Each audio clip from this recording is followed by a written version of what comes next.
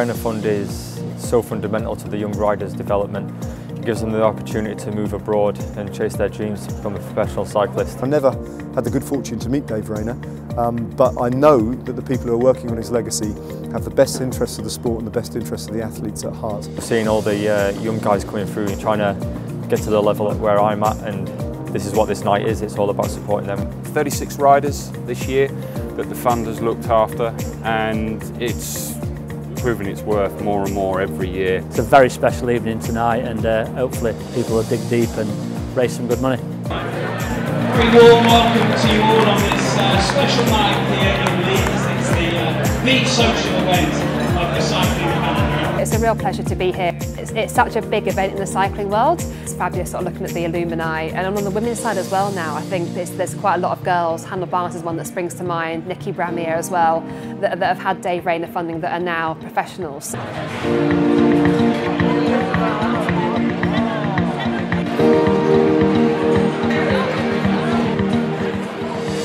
The atmosphere tonight has just been amazing.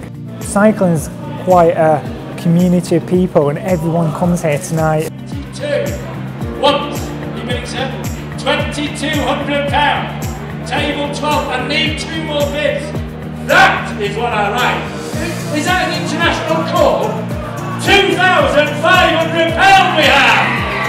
Fantastic. Table 12, playground, thank you very much indeed.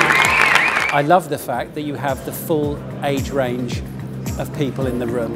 Right from the president of the fund, Brian Robinson, the first Briton to win a stage of the Tour de France, through British cyclists, British champions, Olympic champions, all the way down to the riders who are being funded now. And maybe some riders are hoping to be funded in the future because they can see what these people have achieved and it gives them the incentive to know that it can be done. look back at the fund now and I think they were the best two years of my cycling career to date. If I could do it for another year, I could do it for the rest of my life, I would. As an athlete, it's very important to be taken out of your comfort zone. And by going and racing in places like Belgium, France and Spain, uh, that's what happens to the Rayner Fund riders and that's why they improve and that's why so many of them have gone to greater things. There's the postal crypt and you turn up to your local one like 10 miles away and there'll be Marianne Vos. So you're racing against Marianne Vos, which is just such a learning curve. The payment every month is giving me the opportunity to ride a bike, but also giving me the opportunity to meet some amazing people, which no matter what, good or bad, is helped me progress in life basically. And I'm sort of eternally really grateful to the fund. Dave was literally somebody who I wanted to be, and I decided at 19 years of age I was going to take the step and try and do what he did.